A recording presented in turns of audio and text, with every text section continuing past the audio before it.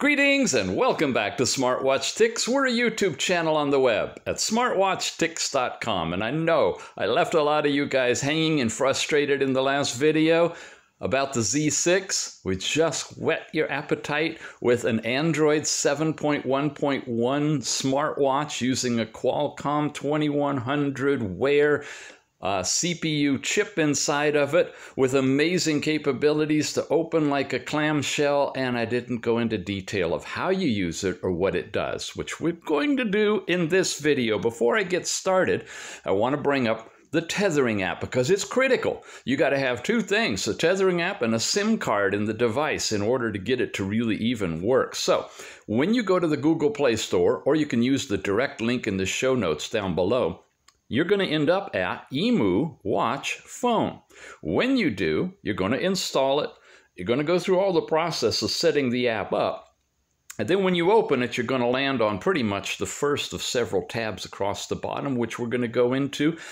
And you'll have a video call capability, a family group chat, and a uh, voice area for uh, chatting back and forth with the administrator of the watch. Now, let me be clear with you as we begin. This is an adult's watch. It's a uh, adventuring watch to go outdoors. It's seriously waterproof. It um, very bright outdoor screen, uh, solid build, and I am letting you know that this is something that you can use if you're the outdoors adventuring type or you like the design in and of itself and you want a really great communications device that can make and receive phone calls make and uh, receive sim uh, text messages has a audio chat feature that works like a walkie-talkie and can be used to transfer pictures you take with this watch over to uh, the adjoining phone via the SIM card or Wi Fi. It's totally set up to be available on Wi Fi as well. Um, just an all in all great communications information sharing watch for adults.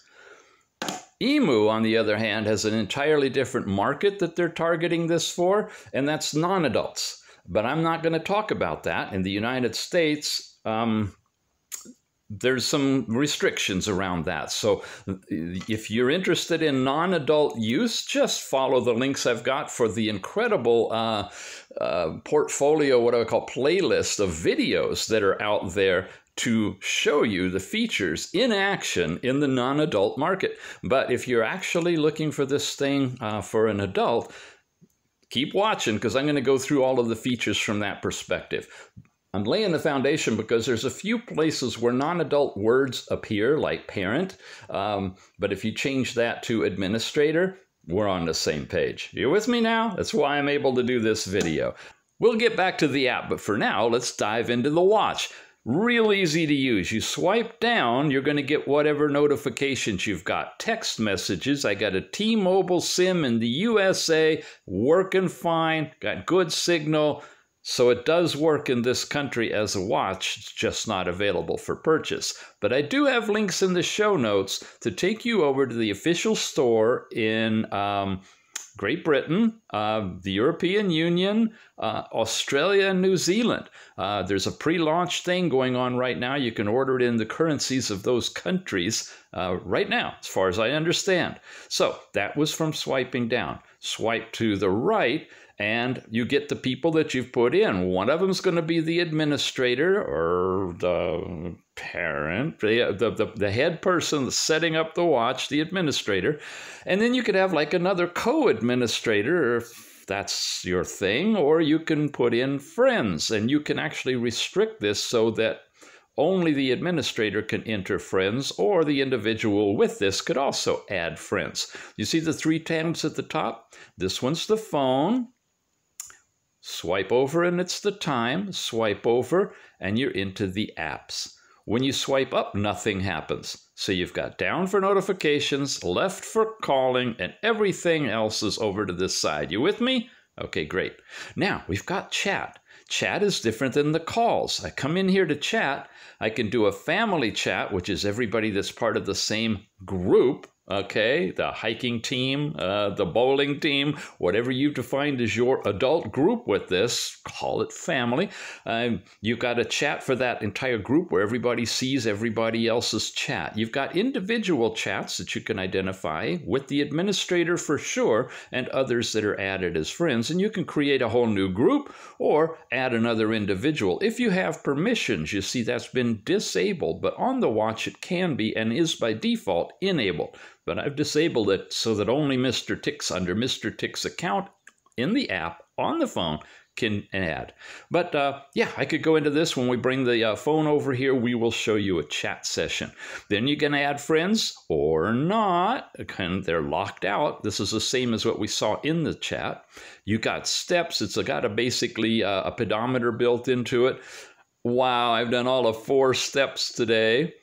Uh, who liked me? Okay. Uh, a rabbit will compete in the step count. Uh, there's stuff going on here. I haven't even seen this. Who liked me? No likes. All right. So you've got that whole social media thing going on as you develop friendship.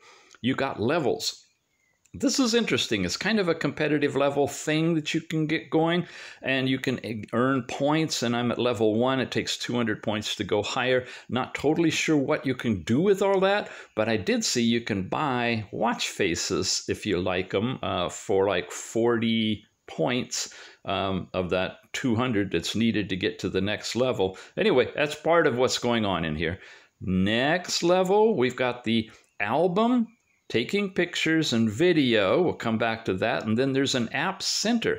The app center is where you can download a few, not many, but a few extra apps. Once you're tethered to your phone and through your phone tied to Wi Fi or cellular, you can go in and download these things from the server. There's a daily schedule, stopwatch, a thing called Shake to earn more points, and Race that you can do with friends, kind of a uh, a competition for exercise, but they're normally marked out on the watch. I do have them turned on, so we'll take a quick look. That's the App Center. You get into themes here, and uh, uh, these are otherwise known as the uh, watch faces or wallpapers. They're calling them. And you see, for forty, you can you can earn these things uh, and and add them. And if you go far enough and say "see all," you can actually get into a grander set of all of these where eventually you get into some free ones. And these are all charged. And if it just says download, you can download that directly to the watch and put that in. So if I like that one, hit download, it's setting it all up, it's bringing it in, and I can use it and now it's become my default watch face, which you'll see when we get out of here. There's the one we just took earlier. Yeah, the one I showed you that we opened this video with is not a stock watch face. It's been added. Okay. Wow, look at this. My wallpapers. That's another feature I was going to show you. We're already in there. Through the phone, you can set up your own custom pictures. And uh, this is a sunspot, folks. Yeah, Pretty darn cool, huh? And you can um, activate it. Let's see. I want to show you. I want to use that one. Could I use it? I hope so. Well, let's come back and see where we're at. Here's this wallpaper. Um, when I get over to it in a minute, I'll show you the custom ones. Let's keep moving through everything here. You got an alarm clock section that you can set up individual alarm clocks. And it goes through that uh, beginning uh, loading phase. You set your time and confirm, and now you got yourself an alarm. Here's some of the things. The race is a game you do with friends. I can't do anything because I don't have any friends. You want to be my friend? I'll race you in Europe. Oh, Australia, Indonesia. Let me get a good Indonesian friend on here. That would be fun. Shake is where I can try to earn points as I understand it. Um, you can shake it something like five times a day and uh, I shook it and, and, and, and. Did I get it? Cow! Okay. Just in case when you're out on your adventure and you hear that sound in nature, you don't have to worry about running. It's not a tiger, it's a cow. yeah. Messages. This is your standard text messages. Mr. Ticks, look, this is an example of a text message. And uh, I'm, I'm doing it for a long period of time so that I could show you scrolling. And then I put some emojis on it, but guess what? The emojis aren't coming through. Are you seeing some flickering? I am too. I think it's because the brightness is a little low and we're hitting the beat frequency of the camera. It's not flickering in real life, it's just showing up on the screen that way. So don't worry about it. It's a interplay thing, a software thing. So there's your uh, messages. I don't I don't know why when I scroll down I didn't see them up there, but you do have them here. Total storage on this watch is 8 gigabytes, folks, of which I got 4.5 gigabytes free for a lot of video, a lot of pictures. Unfortunately, I don't think I can put music uh, on here directly and, uh, and use it for playing songs, nor can I Bluetooth it to headphones. It's not a real on Android watch or Galaxy watch or Apple watch. It's a tracker's watch. It's for outdoors location information and communications. Okay, there's your dialing pad, basic information. You put in your number, you can make a call. Um, this is the overall watch settings for display and brightness. Brightness is relatively low. Notice the colors and everything. And if I crank that puppy all the way up, the light bulb is completely washed out, just like your dimming light bulb would at home when you stare right at it at full brightness. Here's the uh, lowest level right there. And now you're seeing that flickering a lot, but it's non existent in real life. It's just, uh, like I say, the interface with the camera. Um, screen timeout. You have a range down to five seconds, the shortest, and 30 seconds, the longest uh, for battery con conservation on it. Uh, we've got ringtones and volumes, and they're all kinds of fun stuff. You have a sound mode of either vibrate, ring, ring and vibration, and nothing for off. It will always have some level of communication. So a tracker out there cannot. Uh, uh, not receive a call and not know it, for example. Um, but you do have volume control here. Uh, that's at the loudest. We'll have to show you some of that. And ringtones, I can show you this on a ringtone. Are you hearing that? Okay. Um, text tone. Hmm. Hmm. Not really loud but maybe there's separate volumes on those. Anyway, you got basic tone stuff, volume stuff there, and then your flipping settings. This is for when you open this. Do you want it to, when you lift, lift this up, go into a photos mode or get ready to immediately record a video or do nothing when you open it? I got it set for taking photos right now, but I might put it on video. It'd be fun to just kind of click it up, touch the screen, and I'm boom, immediately shooting a really nice, high quality 8 megapixel camera video on there. Your startup animation can be, you know, a couple of different things. Like actually, I think there's only one uh, that's on here, but you can add them. Uh, and it's kind of cute. Your startup sound can be none when you open it, which is what I prefer, or you can have a variety of other sounds. Oh, you can hardly hear that. They're little clicky kind of sounds. But like I said, none is my favorite because I don't want people to know I'm opening it. You can also have flip to answer. So if a call is coming through, you just grab it and flip it, and uh, that'll answer the call, and whether it's video or audio. WLAN is where you set up um, your uh, Wi-Fi, uh, you can, and I tried to enter my password and everything to lock into the uh, the Wi-Fi here without putting in a SIM card or connecting to the watch, and it just didn't work. It wouldn't uh, it wouldn't take the password even though it was correct. So I ended up having to go through the app, getting the app connected to the watch, and then the app already being on Wi-Fi mapped over the Wi-Fi settings to the watch, which I way way preferred, and you're able to be on Wi-Fi uh, for everything there. Here's a software update, permission management. Um, no apps are in here needing that. Bluetooth you can turn on and off. Your photo mode, now this is fun. Your front camera can be set to a resolution of standard for basic, you know, video chat, Or you can go high definition if you want to see every little nuance of your skin. Uh, you could do that. Or if you're shooting over your shoulder or whatever. Anyway, I tend to leave it on this lower setting, um, even though it's a 5 megapixel camera. If I'm doing chat, I, I want the frame rate to be quick and I don't need to shove through a bunch of binary bits um, that slows the frame rate in exchange, you know, for higher quality. The rear camera, however, you can have a standard um, 1280 uh, by 1440 or the full-on uh, 2448 by 3264 HD when I first took pictures that I'll show you in a moment, it was set to standard. I did not have it this way, so I have not shot any pictures in HD. We'll do some of that together. That's the rear camera, photo mode.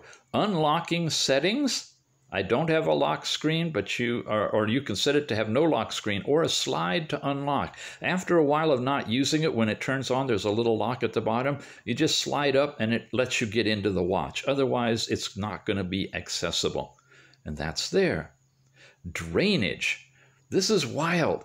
If the watch is wet, you can remove the water remaining in the horn mouth, solve this problem of the watch blurry sound causing the remaining water in the horn mouth with this feature. I think this is that thing Apple came out with a few years ago and got all excited. If there's water in here, it probably vibrates it and makes the little water break up and, and, and roll out. So they're really thinking ahead of a very waterproof watch if they're also making sure that you don't have garbled garbled sound in here.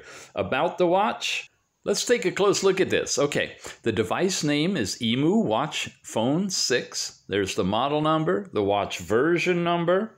It's running Android 7.1.1 got some Bluetooth and Mac and stuff, and it's got eight gigabytes of um, storage in it and 512 megabytes of RAM. That's kind of light when you're talking Android watches, but I guess it's all you need pretty much for this watch. Um, but it would make it a little challenging to try to upgrade this to a more capable watch.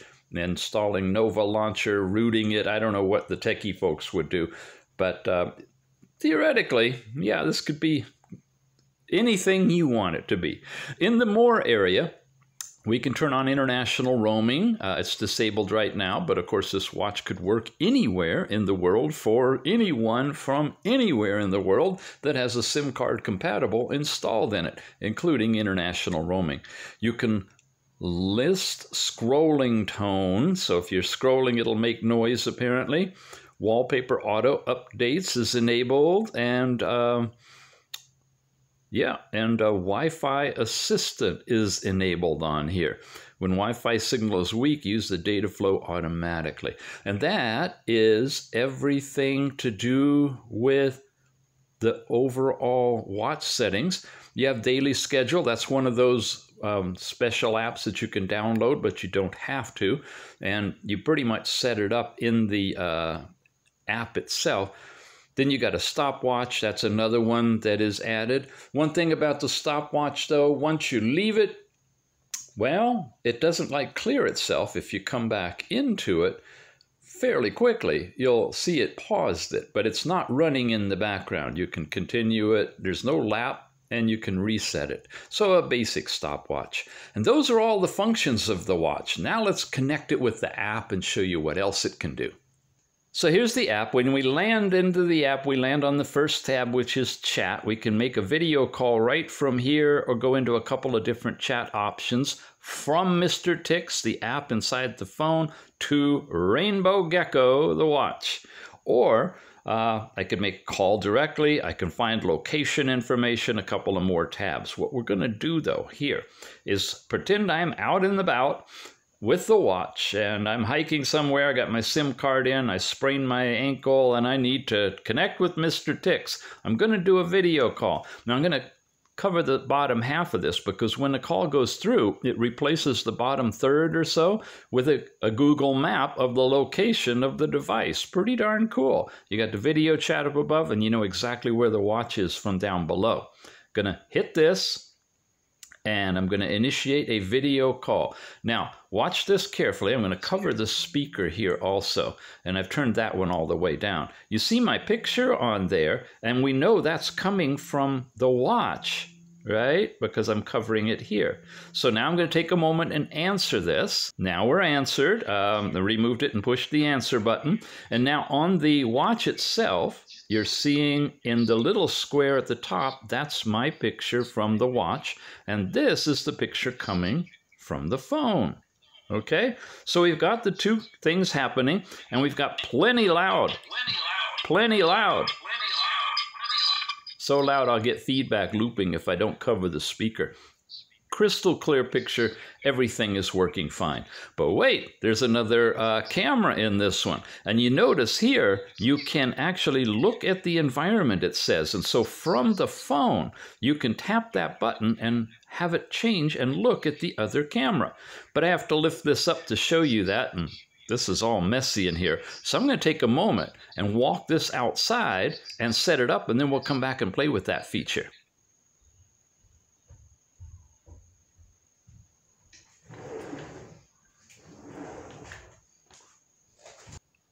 Hi again, I am back. This is me, and this is what you'd be seeing on the uh, watch out there. And it's looking back this direction. I'm going to tap the button, and it just now flipped it's picking up the camera. Okay, and it's looking the other way. So this is the forward-facing 8 megapixel camera view, and flipping it around is the 5 megapixel forward-facing view. But as you saw earlier, we can scale both of those down for chat capability. You notice this isn't as sharp in the detail because um, it is small resolution. It's not the full 5 megapixel, but this camera I have set to the uh, 8 megapixel, and it's pretty darn sharp. And I can tell I need to refinish the uh, railing a little bit there. I can also switch to an audio call, and when I do, I'm on an audio phone call back and forth, and there's no way I've seen to be able to switch it back to video. So once you go audio, you're on audio. And that's calling. My, how time flies. Well, we are having fun. All right, back to the chat tab. Once again, you can initiate a video call here. When you do, you get a chance to prep yourself because you're seeing yourself here. And you can do the same on uh, this one because you're seeing your image there. They flip after you answer the call. Don't want to answer? Just reject it. It'll pop right back out of there. Let's get into the chat. I'm going to do a direct chat to Rainbow Gecko from here. I come into a blank screen. I can hold this down to talk. Hello, Rainbow Gecko. Are you there? Let it go. Give it a moment. I get a notification over here. Come in. Touch it. Hello, Rainbow Gecko. Are you there? And it works fine. I'm here. Glad you called. I sprained my ankle.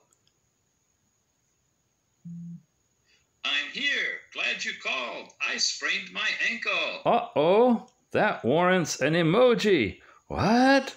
Hmm. Uh, hmm. They're popping through live over here. You notice that? Yeah, yeah.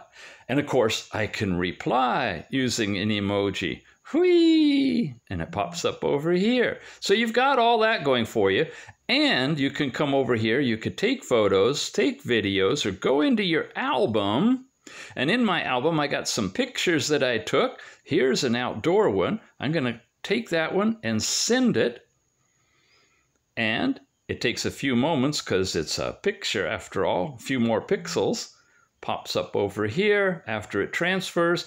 Now, I remind you, everything you're seeing right now is on Wi-Fi. Both of these are on Wi-Fi, so it's really, really fast. If you're out in the wild, it's going to be slower. But check it out, the resolution that I've got and this was not with the high resolution uh, camera mode. This was low resolution with the forward facing camera, just to give you an idea. It'd be much crisper if I used the 8 uh, megapixel uh, camera. So you got that. I've got voice changer that I can put in here.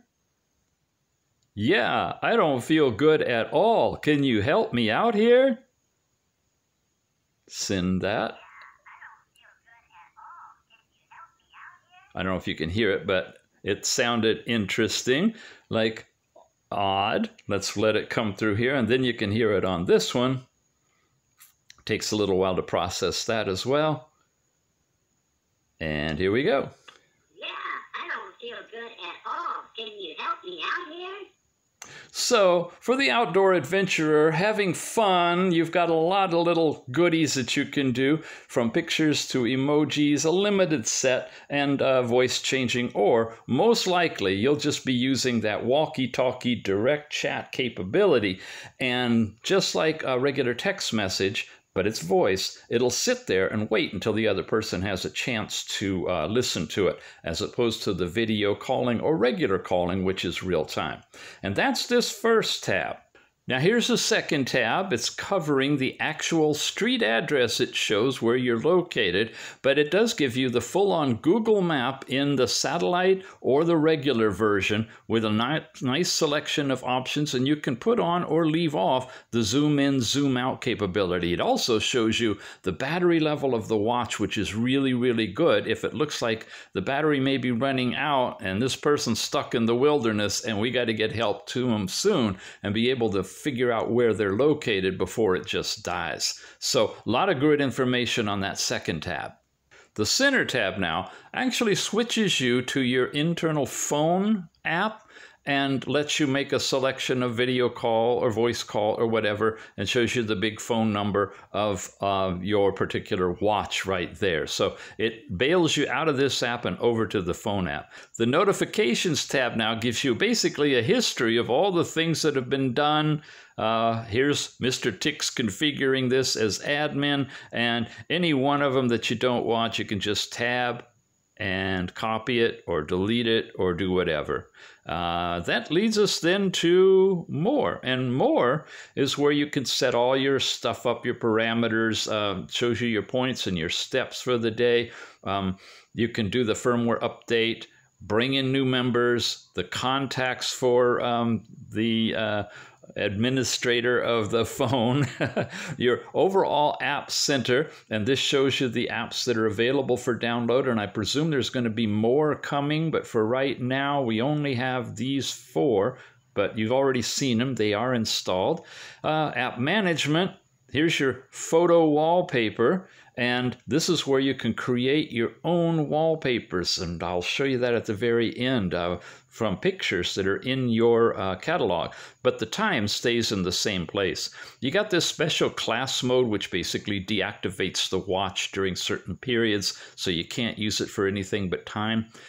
Uh, security, scheduling power on and off, traveling abroad, watch settings, on and on and on, binding and unbinding this watch. And you can even transfer everything, including schedules and alarms and whatnot, from this watch to another watch if you want to, through just using the, uh, the binding code that you scan uh, from one to another and migrate it all over there. So if you want to get a second or a third watch, you can do that. And that's pretty much the app. That's let's look at those wallpapers. Man, one o'clock already. Okay, we're moving fast. Uh, I'm going to press and hold, and I get in here, and of course you've got the ones that you've uh, you've downloaded from the server, and then you've got your special ones that you've created, and then you've got the stock ones, and I'll show you some of these. Um, that's kind of the basic one that comes with the watch. And there's a few more that are automatically installed. There's this one here, although that looks awful familiar, doesn't it? Another one.